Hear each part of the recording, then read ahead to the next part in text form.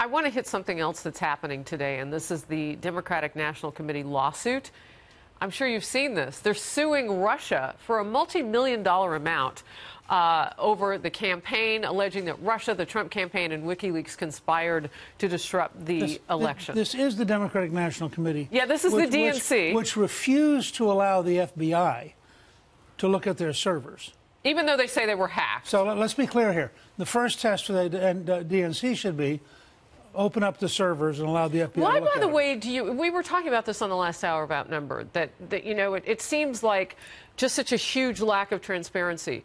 But why not let us take a look at, and not us, the wider public, let investigators take a look at what's on those servers.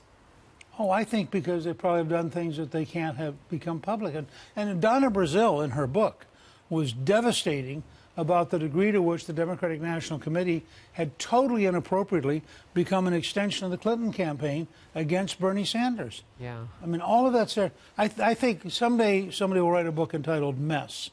and it will, it will cover from the beginning of the Clinton case up through wherever we're eventually going to end up. And Oh, my that's what it is. It's a mess. My, my first days of motherhood might be on that list too.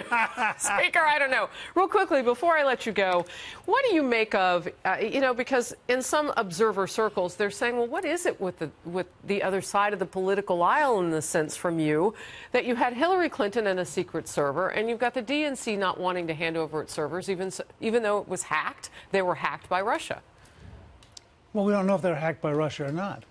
They were hacked. They were hacked, and and uh, or somebody walked out with it, uh, and it didn't never get didn't get hacked. Somebody just just took it, put it on a file, and walked out.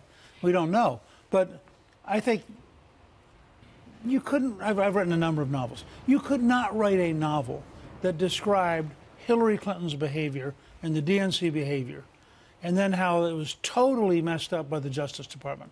I mean, the, the, it's clear that she broke the law over and over and over again. It's clear that they were doing things that were totally against the law.